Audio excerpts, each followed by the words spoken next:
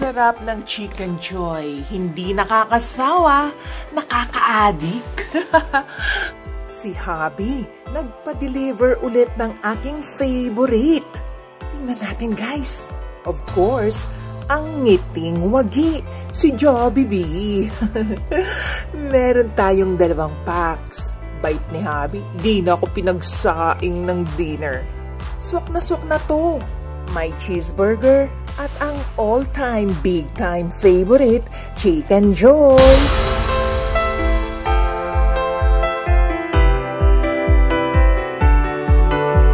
Ito naman ang isa. Wow! Family Pan. Palabok Fiesta. Ang sarap ng palabok.